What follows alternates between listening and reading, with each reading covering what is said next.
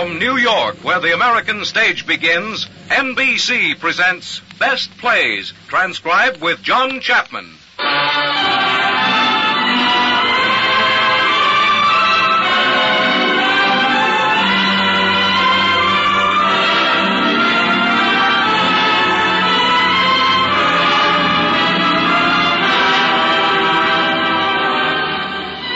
Best Plays, a series of hour length dramas based on famous theatrical books, begun by the late Burns Mantle, now edited by the distinguished drama critic of the New York Daily News, John Chapman.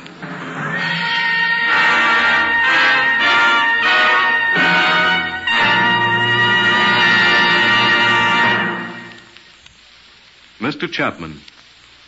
Good evening.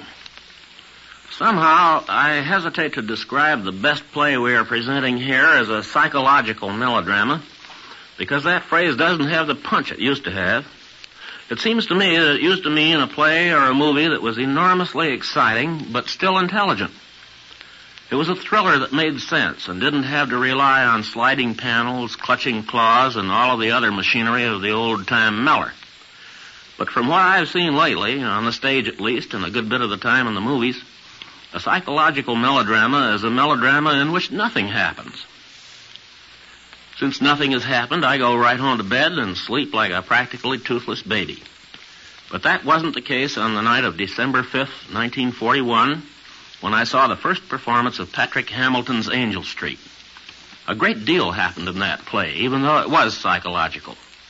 It was so psychological, in fact, that it kept my head whirling for hours.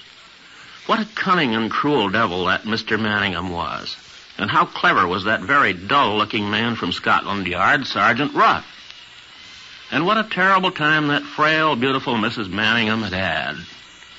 This was indeed a best play, and it was staged and acted to perfection. For our performance now, we have the original Mr. and Mrs. Manningham.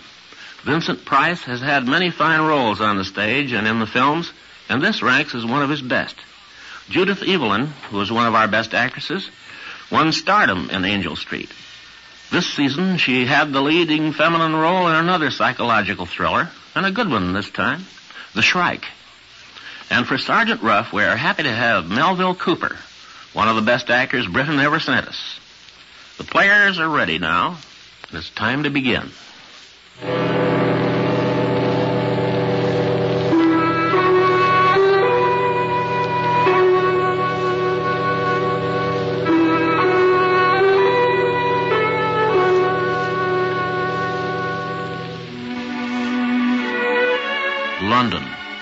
1880. The living room of a house on Angel Street. The room is murky with that rather terrifying darkness of the late afternoon. The zero hour, as it were, before the feeble dawn of gaslight and tea. In front of the fireplace on a sofa, Jack Manningham is stretched out and sleeping heavily. Sitting quietly nearby is his wife, Bella. Once she might have been called beautiful, but now she has a haggard, frightened air about her. There is a knock at the door, and Bella rises to answer it. Did you ring, madam? I thought I heard the muffin man go by just then, Elizabeth. I suppose you're terribly busy. Oh, no, ma'am. I'd like so much to have some muffins with tea. Would you mind? Not at all, ma'am. Gladly. Anything else, ma'am? That's all. But please close the door gently. The master's asleep. Oh, to be sure, ma'am. Oh. Bella, what are you doing? Oh, nothing, dear. Don't wake yourself. What are you doing, Bella? Come here. Oh, uh, muffins for tea. I, I only sent Elizabeth for muffins. Why are you so apprehensive, Bella? I was not about to reproach you. No, dear, I know you won't. The fire's in ashes. Ring the bell, will you, Bella, dear, please? Is it merely to put coal on, my dear? I can do that. Now then, Bella, we've had this out before. Be so good as to ring the bell. But, dear, Elizabeth's out in the street. Let me do it. I can do no, it. no, no, no, no, no, no, no, no. Where's the girl? Let the girl come up if Lizzie's out. Jack, please spare me that girl. Don't call her in. Ring the bell, please, Bella. Now, come here. What do you suppose the servants are for, Bella? To serve us, I suppose, Jack. Precisely. Then why do you I think we should consider them a little, that's all. consider them? There's your extraordinary confusion of mind again. You speak as though they worked for no consideration. I happen to consider Elizabeth to the tune of 16 pounds per annum and the girl 10, 26 pounds a year all told. And if that is not consideration of the most acute and lively kind, I should like to know what is. Yes, Jack, I expect you're right. I have no doubt of it, my dear. It's sheer weak-mindedness to think otherwise. Did you ring, sir? Yes, we rang the bell, Nancy. But go on, my dear. Tell her why we rang the bell. Oh, yes, we, we want some coal on the fire, Nancy, please. Very well, madam. And after you do that, Nancy, you may as well light the gas. This darkness in the afternoon is getting beyond endurance. Yes, sir.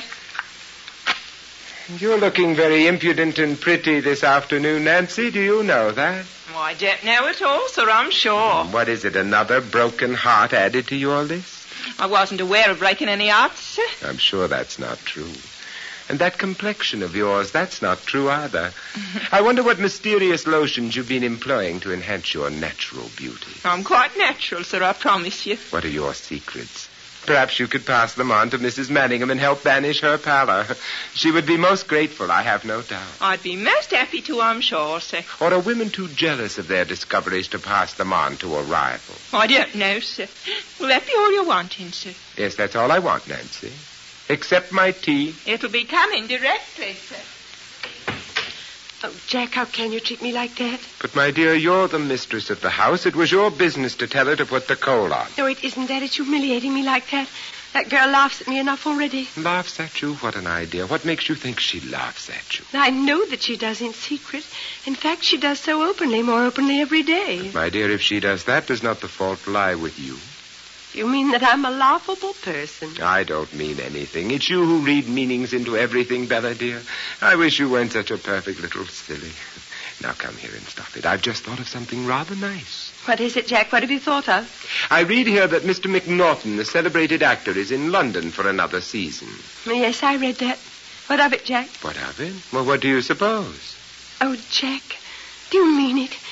Would you take me to see McNaughton? You wouldn't take me to see McNaughton, would you? I not only would take you to see McNaughton, my dear, I'm going to take you to see McNaughton. That is, if you want to go. Oh, Jack, what heaven. What perfect heaven. You can see him in comedy or tragedy, oh. according to your choice.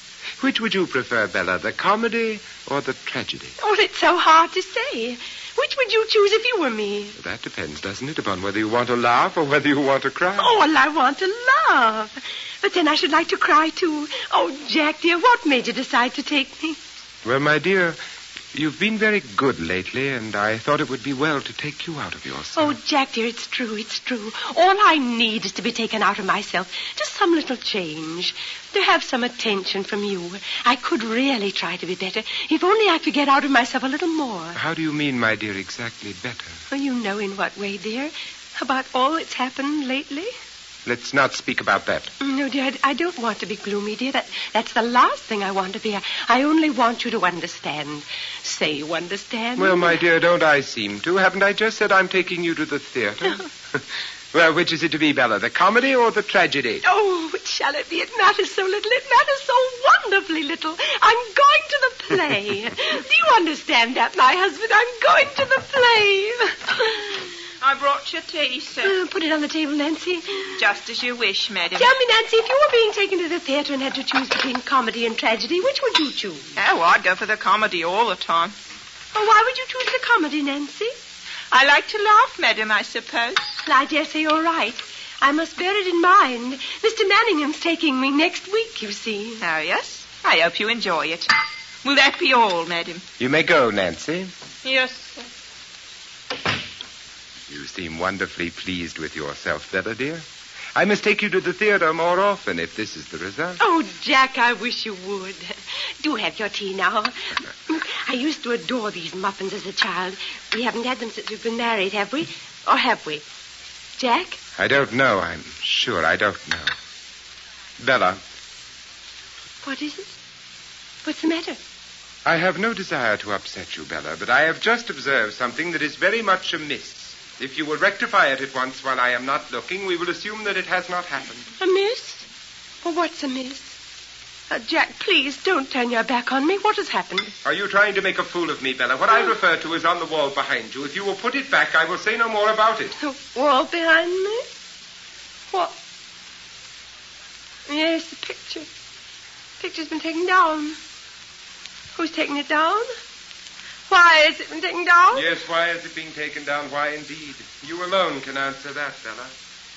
Now, will you please take it from wherever you have hidden it and put it back on the wall again? No, but I haven't hidden it, Jack. I haven't hidden it. Someone else must have done it. Someone else? Are you suggesting that I should play such a fantastic and wicked trick? Oh, no, dear, no, but someone else. Certainly the servants would not have done so without permission or instruction. I, I didn't touch that picture. Will you please leave go of me and sit down there? Mad, Bella, and you don't know what you do. You unhappy wretch, you're stark, gibbering mad like your wretched mother before you. Uh, Jack, you promised you'd never say that again. The time has come, my dear Bella, to face facts. Jack, I'm going to make a last appeal to you. I'm going to make a last appeal. I'm desperate, Jack. Can't you see that I'm desperate? Go on, say what you wish to say. I may be going mad, like my poor mother. But if I am mad, you've got to treat me gently. Jack, I never lie to you knowingly. If I've taken down that picture from its place, I've not known it. I've not known it. Jack, if I steal your things, your rings, your, your keys, your pencils, and your handkerchiefs, and you find them later at the bottom of my sewing box, as indeed you do, then I do not know that I've done it. Jack, if I commit these fantastic and meaningless mischiefs, so meaningless, why should I take down a picture from its place? If I do all these things, then I'm certainly going off my head. I must be treated kindly and gently so that I may get well. You must bear with me, Jack. Bear with me. I'm trying, Jack. I'm trying. Please believe that I'm trying and be kind to me. Bella, my dear, have you any idea where that picture is now? Yes, I. I suppose it's behind the cupboard. Will you please go and see? Yes. Yes. Yes, it's here. Then you did know where it was, Bella. No, I only supposed it was because it was found there before. It was found there twice before.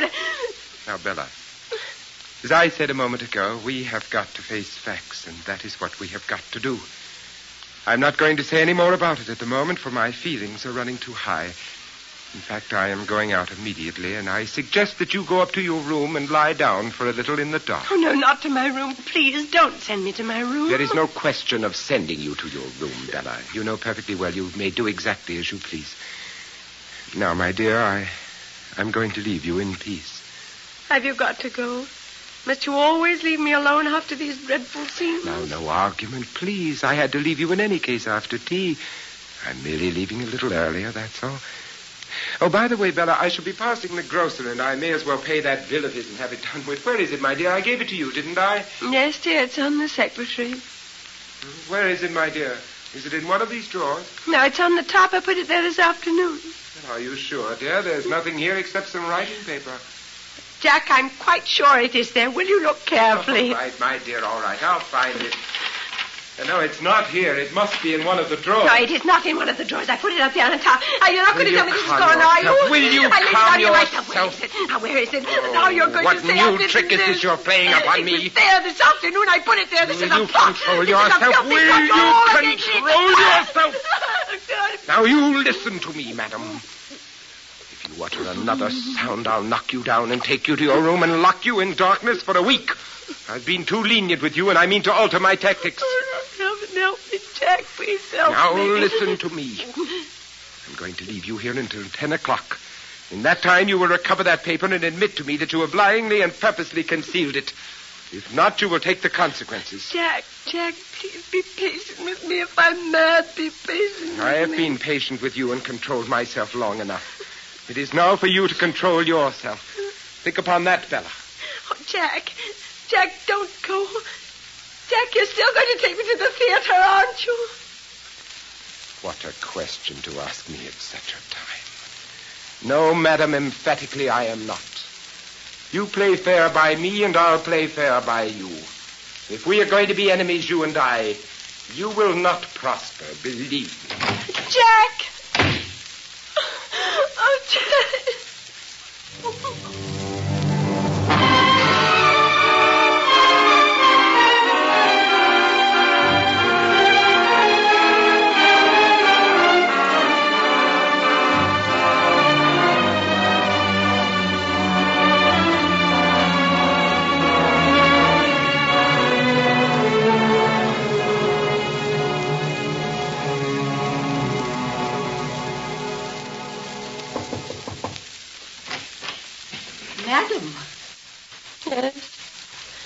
What is it, Elizabeth? there's somebody called, ma'am. Who is it? I don't want to be disturbed. It's a gentleman, madam. He wants to see you. Oh, tell him to go away. I want to be left alone. Madam, I think you ought to see him. No. Will you please come in, sir? Elizabeth, no, I'm not fit to be seen. Ah, good evening, Mrs. Manningham. Huh? How are you, Mrs. Manningham? How do you do? I, I'm very much afraid.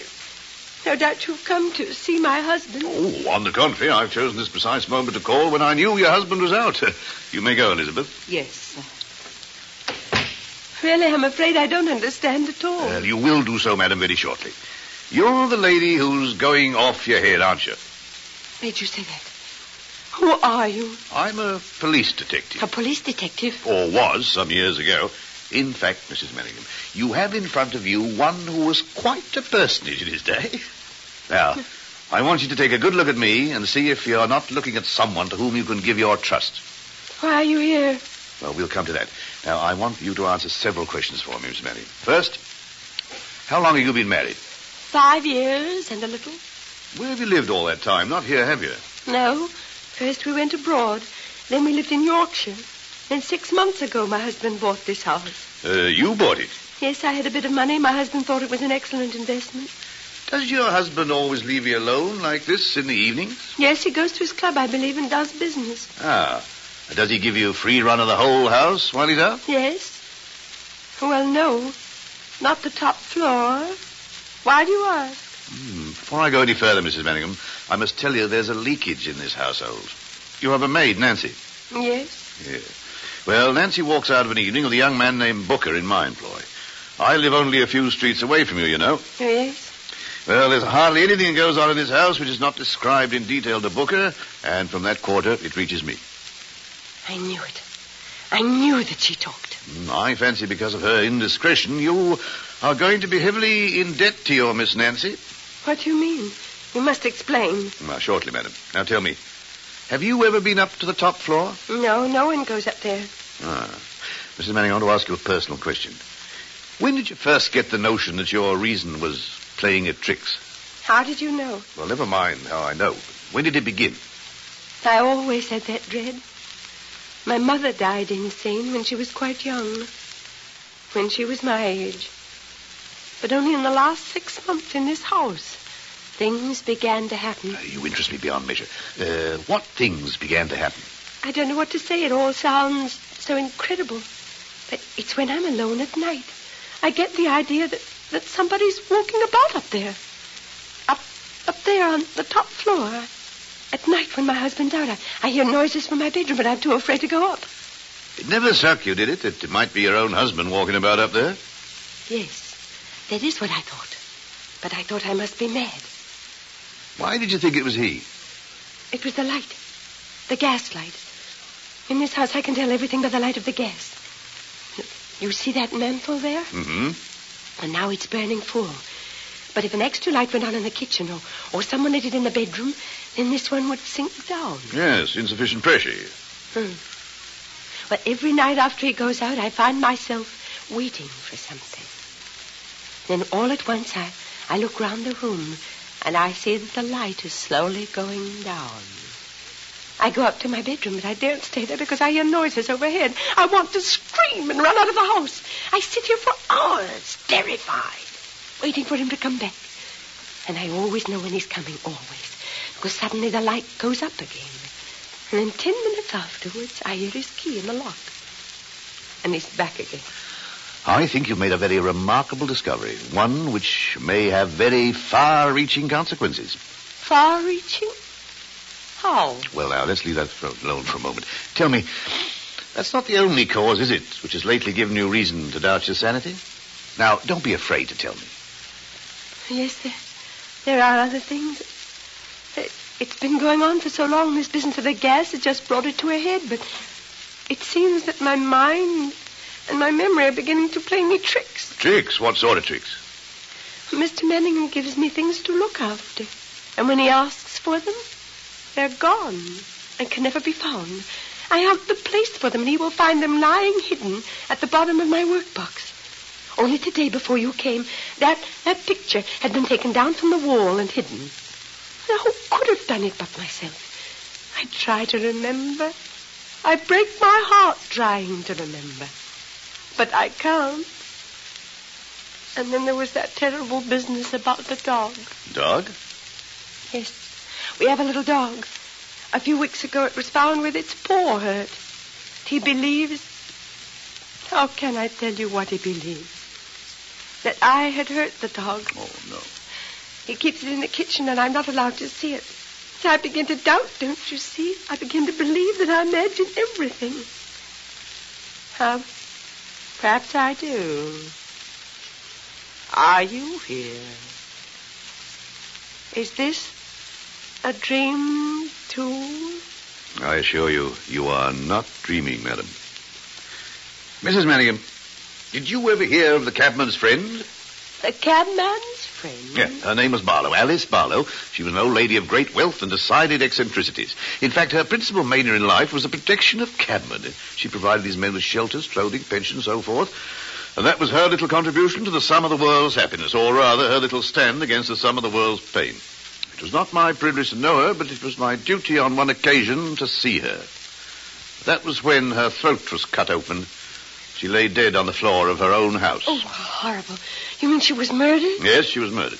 Murder was never discovered, but the motive was obvious enough. Her husband had left her the Barlow rubies, and it was well known that she kept them without any proper precautions in her bedroom on an upper floor. But I Murderer seemed to have got in about ten in the night and stayed till dawn.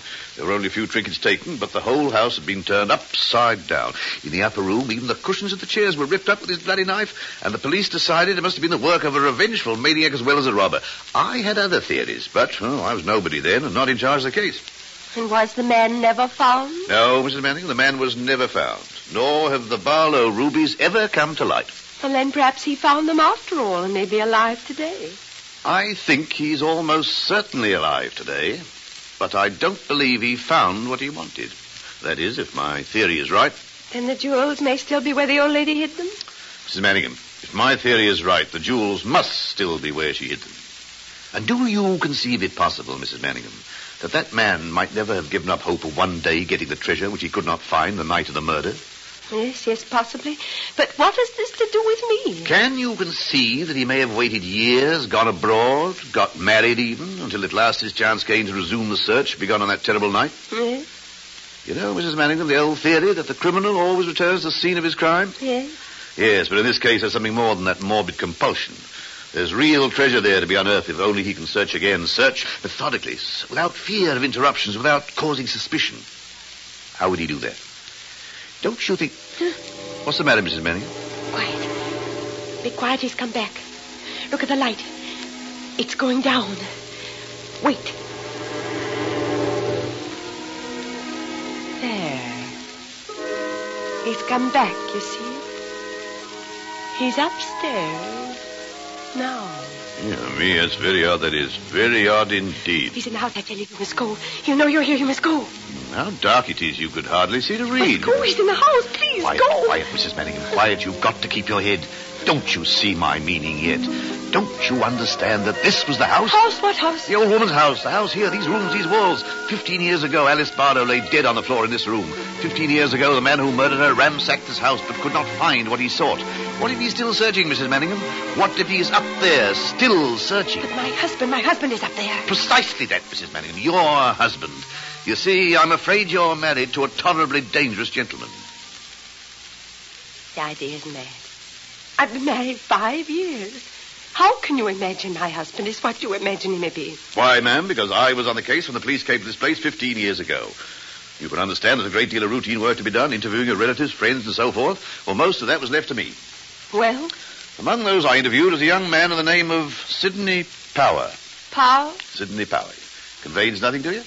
Power? No. Hmm. He was a kind of distant cousin. The only thing was that I remembered his face. Well, I saw that face again just a few weeks ago. Took me a whole day to recollect where I'd seen it before, and at last I remembered it. Well, what if you did remember it? Yeah. Well, what startled me was the lady on his arm and the locality in which I saw him. Who was the lady on his arm? You were the lady on his arm, Mrs. Manningham, and you were walking down this street. You mean you think my husband, my husband is this Mr. Power? Well, if my theories are correct. But what are you saying? You stand there talking riddles. You're so cold. You're as heartless and cold as he is. Now, Mrs. Manning, I'm not cold and I'm not talking riddles. I'm just trying to preserve a cold and calculating tone because you are up against the most awful moment in your life, and your whole future depends on what you're going to do this next hour. Nothing less. You've got to strike for your freedom and strike now. For the moment may not come again. Strike? Mrs. Manningham, you are not going out of your mind. You are slowly, methodically, systematically being driven out of your mind. And why? Because you're married to a criminal maniac who steals back to his own house at night, still searching for something he could not find 15 years ago. These are the facts, wild and incredible as they seem. Now, every night for the last few weeks, he has entered his house next door from the back, climbed to the roof, and come into his house by the skylight. I know that because I've watched him. Mrs. Merriam, so far I'm only dealing in guesses and half facts. I've got to have evidence, and that's why I, I've come to see you. You've got to give me the evidence or help me find it. This is my husband, don't you understand? This is my husband. You must go. I, I must think this out. You, I must cling to the man I married, mustn't I? Oh, indeed, cling to him by all means, but do not imagine you are the only piece of ivy on the garden wall.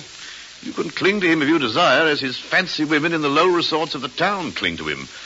This is the sort of wall you have to cling to, ma'am. Women, what are you suggesting? I'm not suggesting anything. I'm only telling you what I've seen. He comes to life at night, this gentleman upstairs, in more ways than one. I've made it my business to follow him in some of his less serious excursions, and I can promise you he has a taste in unemployed actresses which he's at no pains to conceal. In heaven, what am I to believe? Madam, do I have your trust? What do you want me to do? What do you want? I want his papers, Mrs. Manningham, his identity. Papers? I know of no papers. Unless his desk. It's there, but he keeps it always locked. I've never seen it open. Very well, you shall see it open now. Do you mind if I take off my coat? Mrs. Manningham, one of the greatest regrets of my life is that fate never made me one of two things. One was a gardener and the other a burglar. Both quiet occupations. Now, as for burgling, I think if I'd started young and worked up my way, I, I, I should have been a genius. You must not touch his desk. He'll know what you've done. Not if we are clever enough. You see, Mrs. Manningham, Oh, are always... Haven't you noticed something? Look. Can't you see? The light. It's going up. He's coming back. He's coming back and you must go. Oh, bless myself. This looks as if the unexpected has ended in. Very well. You must ring for Elizabeth. Well, why do you want Elizabeth? There's no time to waste. Ring for Elizabeth, madam. Very well, but you must go. All in good time. Now, he's not going to jump in through the window, you know. In fact, he can't be round the front door in less than five minutes. Unless he's a magician. Please, please go. Yes, madam. Ah, Elizabeth, come here, will you? Yes. Elizabeth, uh, you and I have got to do a little quite calm but rather quick thinking. Now, you told me you're anxious to help your mistress, Elizabeth. Why, yes, sir. I told you I was, sir. Now, are you anxious to help her blindly without asking any questions? Yes, sir, but you see. Now, come now, Elizabeth. Are you or are you not? Yes, sir. Good, good. Now, Elizabeth, Mrs. Manning and I have reason to suppose that about five minutes' time the master is returning to this house. He mustn't see me leaving. Now, would you be good enough to take me down to your kitchen and hide me away for a short space of time? You can put me in the oven if you like. Yes, sir, but you You see, must go. You must go. He won't see you if you go now. Here, what were you saying, Elizabeth? you could come to the kitchen, sir, but Nancy's down there, sir. Ah, yes, we'll find another place. Uh, where are you going to hide me, Elizabeth? Through the door behind you, sir, is where he dresses, where he keeps his clothes. There's a big wardrobe there at the back. Ah, it'll have to suffice us. Now, we really have to hurry. Get off to bed, Mrs. Manning, quick. And you, Elizabeth, get back to your work. To bed? Am I to go to bed? Yes, yes, and quickly. But if I go to bed... Will you go in heaven's name? There's not a second to spare. Hurry!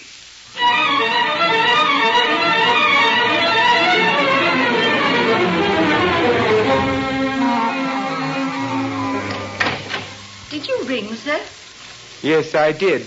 Where is Mrs. Manningham, Elizabeth? I think she's gone to bed, sir.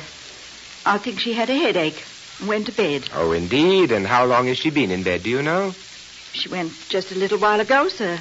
I think, sir. Oh, I see. Then we must be quiet, mustn't we? Walk about like cats. Can you walk about like a cat, Elizabeth? Yes, sir. I think so, sir. Very well, then walk about like a cat. that will be all, Elizabeth. Excuse me, sir. But were you going to have some supper, sir? Oh, yes, I'm going to have some supper, Elizabeth. I'm having it out. I have just come home to change my linen. What did you think about Mrs. Manningham tonight, Elizabeth? What way do you mean, sir? Oh, just as regards her general health. I don't know, sir. She certainly seems very unwell. Yes, I doubt if you can guess to what extent she's unwell. Or are you beginning to guess? I don't know, sir. I'm at my wit's end, Elizabeth. You know that, don't you? I expect you are, sir. I've tried everything kindness, patience, cunning, even harshness to bring her to her senses. But nothing will stop these wild, wild hallucinations. Nothing will stop these wicked pranks and tricks. It seems very terrible, sir. Oh, you don't know a quarter of it, Elizabeth. You only see what is forced upon your attention. You have no conception of what goes on all the time. You know, don't you, that I shall have to bring a doctor to see Mrs. Manningham before very long. I've fought against it to the last, but it can't be kept a secret much longer. No, sir. I mean to say, you know what goes on. You can testify to what goes on, can't you? Indeed, sir. Yes. Indeed, you may have to testify in the end, Elizabeth. You realize that, don't you? Yes, sir. I only want to do what's best for both of you. You're a very loyal soul, Elizabeth. And you will be repaid for your loyalty. I only want to serve, sir. Yes. Yes, I know that. Well, Elizabeth, I'm going out. In fact, I'm even going to try to be a little gay. Can you understand that, Elizabeth, or do you think it very wrong? Oh, no, sir. You should get all the pleasure you can, sir, while you can. I wonder. Yes, I wonder. It's a curious existence, isn't it? Well, good night, Elizabeth. Good night, sir. Good night.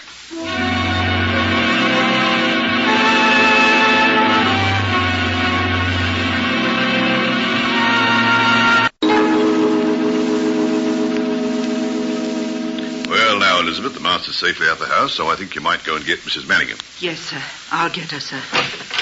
I was watching from the window and saw him go. Good, madam. Elizabeth, we've been so occupied this evening that the tea things haven't been returned to the kitchen. You'll see to it, won't you? Yes, sir. What did he want? What did he come back for? He only came back to change his clothes, madam. If you need me, madam, I'll be nearby. Thank you, Elizabeth. Now, let's have another look at this disc. Try this one. There we are. Ah, let's see. Oh, doesn't seem to be much here, does it? When she got there, the cupboard was bare, and so the poor detective. What's that you have in your hand? What's that you have in your hand? Why, you recognize this? Why, yes, that's my brooch. Is there anything else there? Oh, look, it's my watch. Was also your property then? It's this watch I lost a week ago. My brooch has been missing three months. And he said he would give me no more gifts because I lost them. He said that in my wickedness I hid them away. Oh, Inspector, is there anything else? Is there a bill there? Is there a grocery bill? Grocery bill. No, no, doesn't seem to be. Perhaps in the second drawer. No. Doesn't seem to fit, does it? Has it ever been opened to your knowledge? I think he has a special lock on it. Well, well, we just have to force it. You must not do that. What shall I say to my husband when he comes back? I've no idea what you will say when he comes back, Mrs. Manningham, but then I have no idea what you will do if I have no evidence to remove you from his loving care. I'm afraid. What can I do? There's only one thing to do. I'm going to force it and gamble on finding something. Are you with me? No, but don't you see that?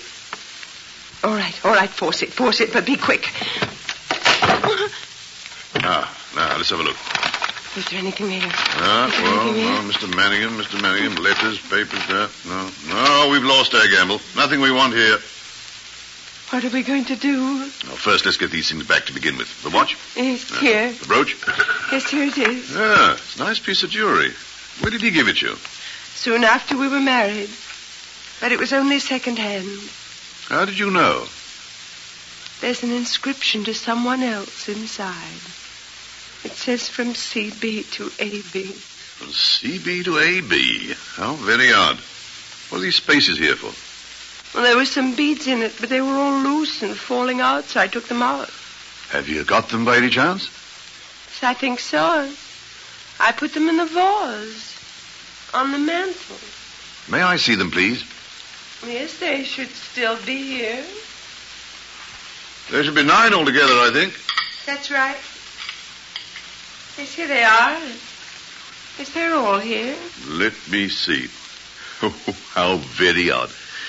My dear Mrs. Merriman, have you ever been embraced by an elderly detective in his shirt sleeves? Oh, what do you mean? Well, that is your immediate fate at this moment. Oh, my dear, dear Mrs. Merriman, don't you understand? Don't you see? No, what are you so excited about? Madam, you are looking at the Barlow rubies. These beads are 12,000 pounds worth of rubies. Take a good look at them before they go to Her Majesty the Queen. And I had them all the time. I had them all the time. All because he could not resist a little common theft along with a big game. Well, it's I'm after the big game now. Uh, what time do you think he'll be back? I don't know. He's not usually in until 11. Oh, well, then uh, we put the brooch back where, we found it, on the, on the, down there, well, on the right. On the That's right, right, yes. Uh, yeah, yes. Now, I want you to go to your room. Lock your door and do not leave your room under any circumstances. Oh, please don't leave me. I have a feeling. Don't leave me. You have nothing to fear so long as you remain in your room with your door locked. Now, you'll do that, won't you? Yes, Inspector. I'll say my headache is worse. Only don't make me stay there long. I'm I'm so afraid.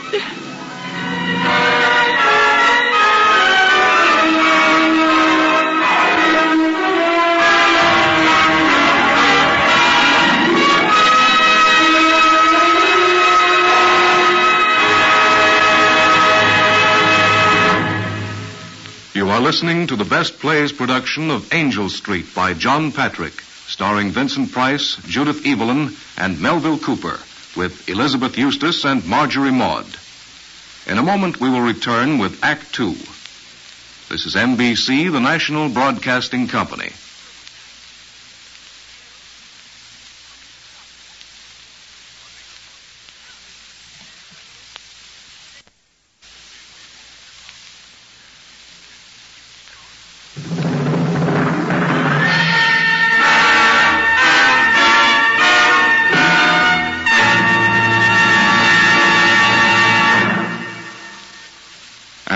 Before we resume with Act Two of John Patrick's Angel Street on Best Plays, here is John Chapman. The season of 1941-1942 had another thriller, too. It was Uncle Harry by Thomas Job, which, by the way, we'll be doing later in this series. It was wartime then, and a good many dramas dealt with national and international affairs. John Huston, the movie writer and director, collaborated on a best play called In Time to Come about Woodrow Wilson and the League of Nations. John Steinbeck had a drama about Nazi brutality, The Moon is Down. Maxwell Anderson also did one about the Germans, Candle in the Wind. There was still another good war play, Letters to Lucerne. But not all of Broadway was serious. Noel Coward came up with one of his happiest comedies, Blithe Spirit, and Jerome Chodorov and Joseph Fields hit another laughing jackpot with Junior Miss.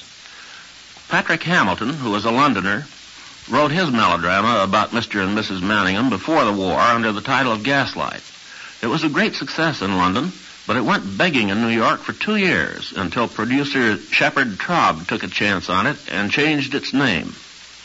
A very good movie was made under the original title of Gaslight. But now we should be moving into the second act of our play, which is Angel Street.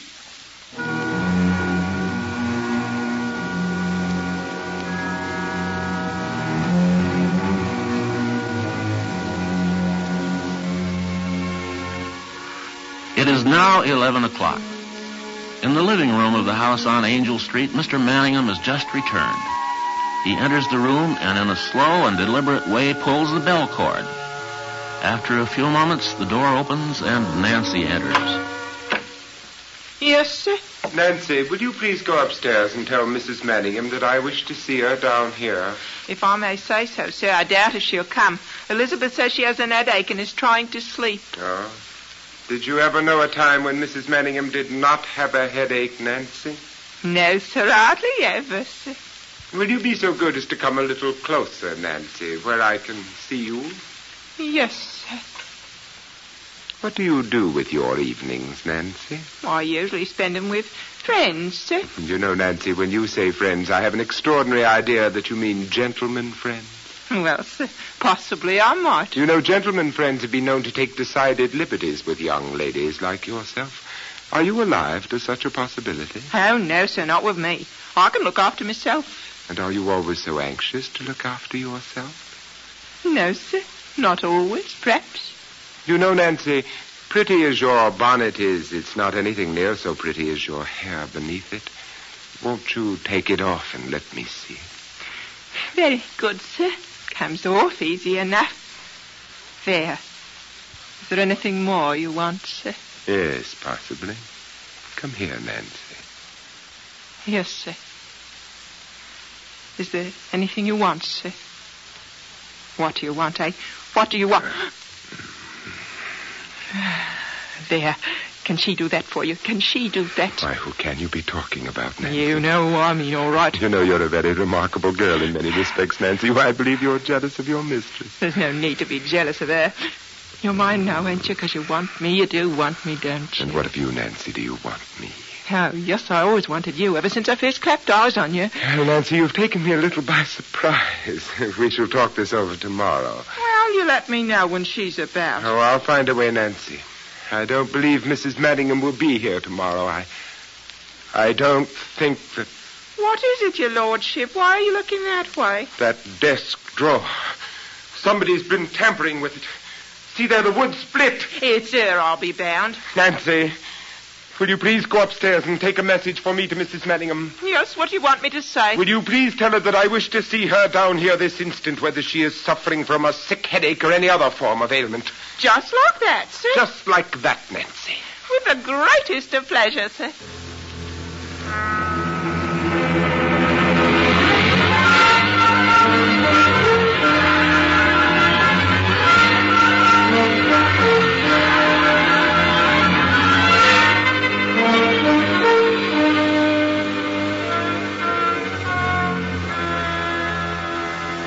Well, Nancy, She won't come. what do you mean she won't come? She says she can't come. She's not well enough.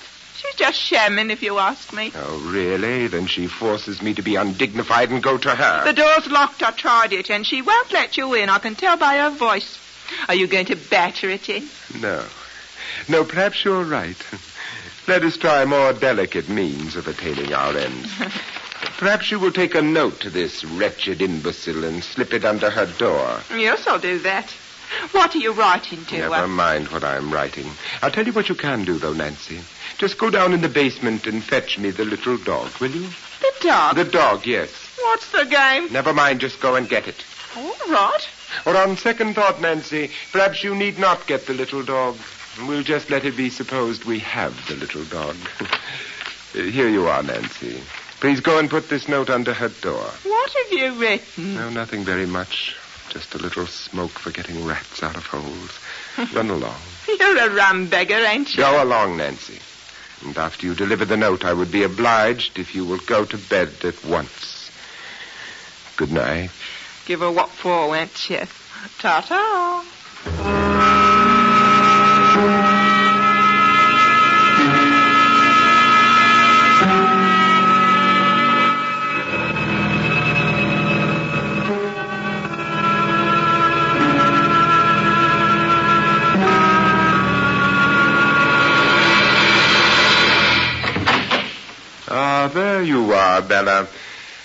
Come and sit down in this chair, please.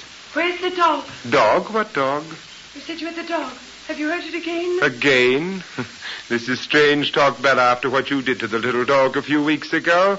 Come and sit down here. I do not wish to speak to you. I'm not well. I thought you had the dog and were going to hurt it. That's why I came down. The dog, my dear Bella, was merely a ruse to compel you to pay me a visit quietly. Come and sit down where I told you. No, I want to Come go. and sit down where I told you. Hmm? That's what you want. I want quite a good deal, Bella. Sit down and make yourself comfortable. We have plenty of time. Say what you have to say.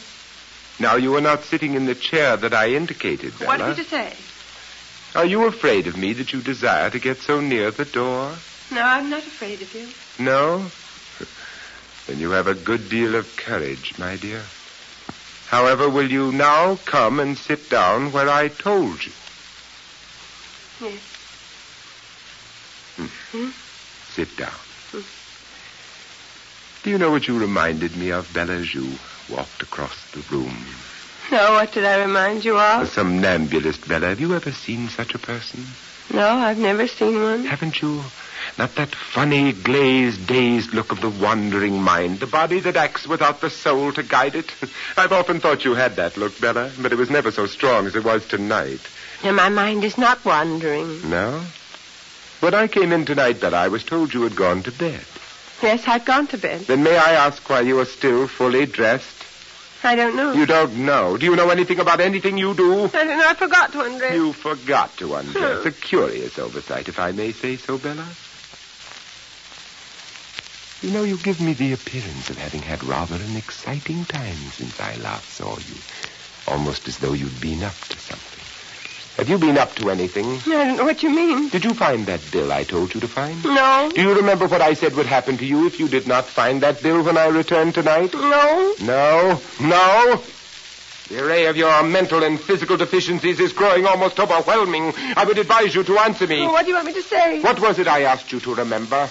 I don't understand your words. You talk round and round. My head is going round and round. Not necessary to tell me that, Bella. I was just wondering if it might interrupt its gyratory motion for a fraction of a second and concentrate upon the present conversation. Now, please, what was it I, a moment ago, asked you if you remembered? You asked me if I remembered what you said would happen to me if I did not find that bill. Admirable, my dear Bella. Admirable. We shall make a great logician of you yet. A Socrates, a John Stuart Mill. You shall go down to history as the shining mind of your day. That is, if your present history does not altogether submerge you, take you away from your fellow creatures. And there is a danger of that, you know. Well, what did I say I would do to you if you did not find that bill? You said you would lock me up. And do you believe me to be a man of my word? Huh? Yet you did not find the bill I instructed you to find. No. Did you look for it? Yes. Where did you look for it? All around the room. Around the room? Where around the room? In my desk, for instance? No, not in your desk. Why not in my desk? Your desk is locked. Do you imagine you can lie to No, me? I'm not lying. Come here, Bella. What do you want? Now you listen to me. Your dark, confused, rambling mind has led you into playing some pretty tricks tonight, has it not? My mind is tired. I want to go to bed. Your mind indeed is tired. Your mind is so tired it can no longer work at all. You do not think you dream. Dream all day long. Dream everything. Dream maliciously and incessantly. Don't you know that by now, you sleepwalking imbecile? What have you been dreaming tonight? Where is your mind wandered that you have split open my desk? What strange disease dream have you had tonight, eh? Dream? Are you saying I've dreamed? Dreamed all that happened? All that happened when, Bella, tonight? Of course you dreamed all that happened, or rather all that did not happen. Dreamed tonight? Are you saying I've dreamed? Oh, what have I dreamed? Have I dreamed again? Have I not told I you? haven't dreamed. I haven't. Don't tell me I've dreamed. And don't tell me... What was this dream of yours, Bella? You interest I, me. I, I, I, I, I dreamt of a man. I, I, I dreamt of a man. Dreamed of a man. What man did you dream of, I, I pray? a, man that came to see me or let me rest. Let Pull yourself together, Bella. What uh, man are you talking about? I, I, I, dreamed a man came I know you dreamed it, you gibbering wretch. I want to hear more about this man of whom you dreamed. Do you hear me? Do you hear me? I dream. I, I dream. Was I any part of this curious dream of yours, Mrs. Manningham? Perhaps my presence here will help you recall it. May I ask who the devil you are and how you got in here? Well, who I am seems a little doubtful. Apparently, I'm a mere figment of Mrs. Manningham's imagination. As to how I got in, I came in, or rather, I came back. Or better still, I effected an entrance a few minutes before you, and I've been hidden away ever since. Would you be kind enough to tell me what you are doing here? Waiting for some friends, Mr. Manningham. Waiting for some friends. Don't you think you'd better go to bed, Mrs. Manningham? You look very tired. Don't you think you had better explain your business, sir?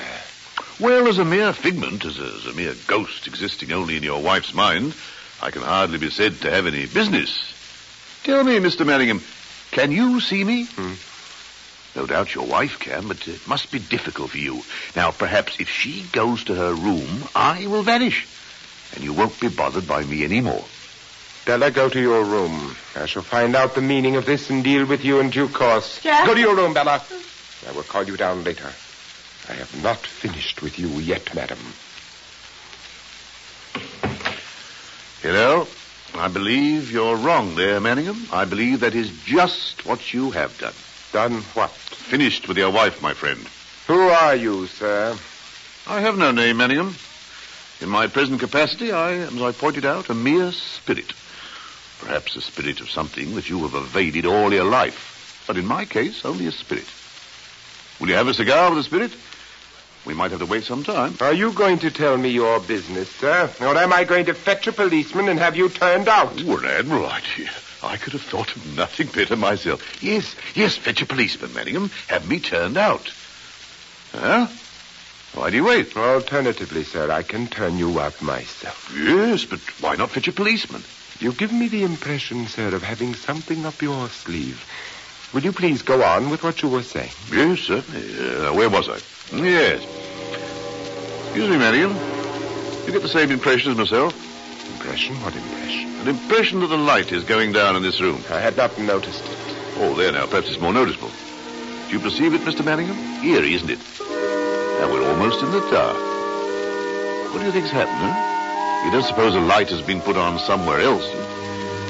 You don't suppose there are other spirits, fellow spirits of mine, spirits of justice even, which have caught up with you at last, Mr. Manning? Are you off your head, sir? No, sir, just an old man seeing ghosts.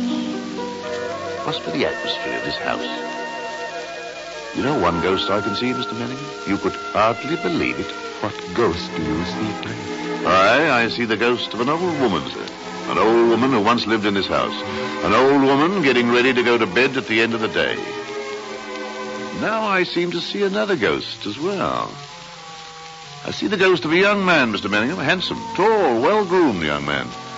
But this young man has murder in his eyes. Why, bless my soul. He might be you, Mr. Manningham. He might be you. The old woman sees him. She screams, screams for help, screams before her throat is cut, cut open with a knife. What's your game, eh? What's your game? I want you to take a look at this trinket, sir. Do you recognize it? It's a brooch which I gave my wife. Hmm, Why? a brooch which she didn't appreciate, huh? How wicked of her. But then, you see, she didn't know its value. How was she to know that it held the Barlow rubies? Oh, what? Hmm, there you are, sir. You killed one woman for these and you tried to drive another out of her mind. And all the time they lay on your own desk. And all they have brought you is a rope around your neck, Mr. Sidney Power.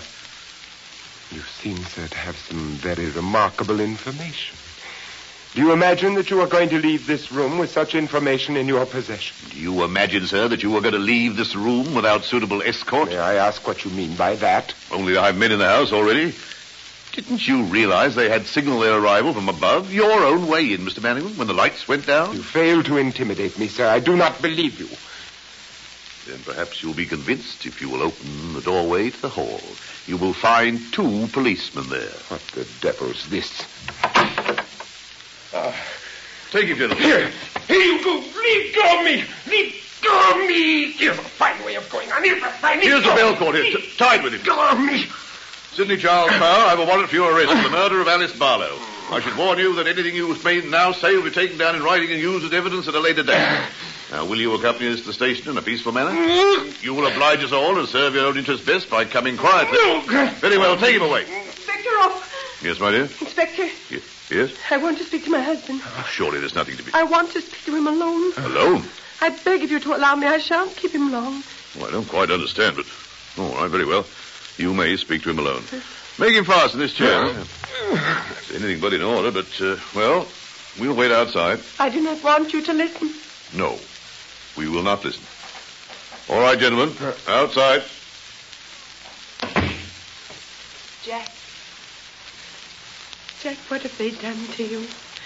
What have they done? It's all right, Bella. You're clever, my darling. Terribly clever. Now get something to cut this rope. I can get out through the dressing room window and make a jump for it. Can you get something, Bella? Yes, I can get something. What can I get? There's a razor in my dressing room, Bella. Will you get it for me? Quick, Bella. A razor? Quick, be a good girl. There's a good girl. Quick, I'll get it for you. Quick, be quick. Hurry, Bella. Hurry. I got it. Yes. Is. Yes. Open the case, Bella. Open it and cut me loose. Yes. A grocery bill. The grocery bill was in your razor case. You see, dear, I didn't lose it. I told you I didn't. Cut me loose, Bella. But, Jack, how did this bill get in there? I was mistaken about the grocery bill, Bella. Use that razor quick. What razor? Razor? Are you suggesting this is a razor I hold in my hand? Have you gone mad, my husband? Bella, Bella, what are you up to? Or is it I who am mad? Yes, of course, that's it. It's I who am mad. Oh, Of course, it was a razor. I've lost it. I've lost it, haven't I? the razor's lying at your feet, Bella. I'm Bring it always here. losing things. I can never find them. I don't know where I put Oh, them. Oh, Bella. I must look for it, mustn't I? I don't find it. You lock me in my room. No. Lock me in the madhouse for my mischief. Where could it be now? Could it be behind the picture? It must be there. No. Oh, it's not there. How strange. Where now shall I look? Where shall I... The desk. Perhaps I put it in the desk. Oh, it's not there. How strange. But here's a watch. Here's a bill. See, I found them at last. But they don't help you, do they? Oh. I'm trying to help you, aren't I? To help you to escape. No. How can a mad woman help her husband to escape? Oh. What a pity. If I were not mad, I could have helped you. If I were not mad, whatever you had done, I could have pitied and protected you. Oh. But because I'm mad, I've hated you. Because I'm mad, I've betrayed you. Because I'm mad, I'm rejoicing in my heart. Without a shred of pity, without a shred of regret. Watching you go with glory in my heart. Bella! Bella! Bella! Bella!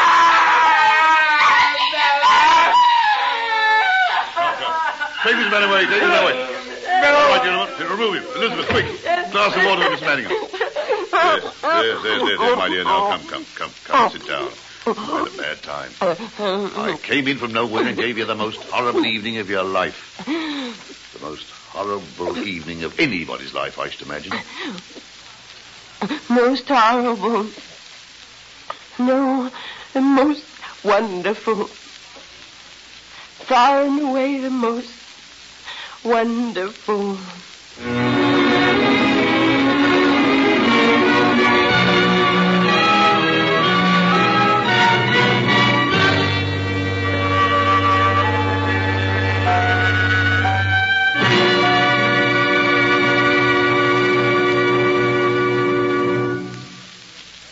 Have just heard the Best Plays production of Angel Street by John Patrick, starring Vincent Price, Judith Evelyn, and Melville Cooper, with Elizabeth Eustace and Marjorie Maud.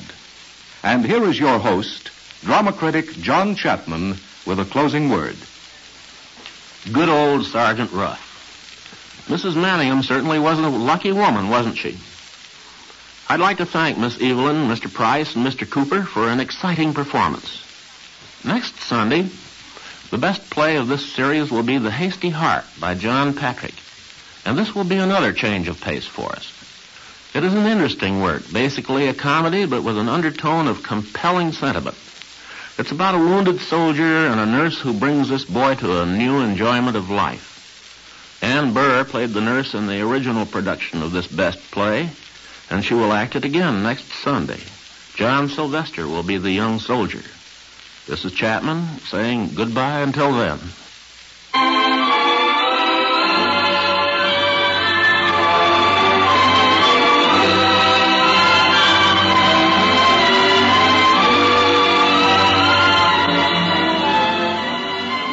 Angel Street was adapted for radio by Earl Hamner. Vincent Price was Mr. Manningham, and Judith Evelyn was Mrs. Manningham.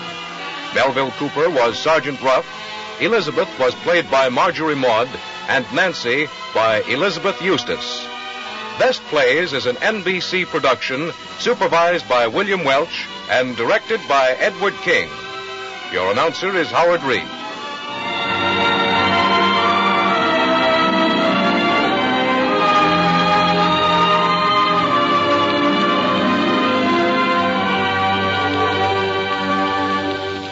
Can you stop your car in time? Ask yourself that question the next time you're on the highway. If the car in front of you should jam on his brakes to avoid a stray dog, if a child should dash across an intersection, if a tire should blow out, could you stop in time to save a life?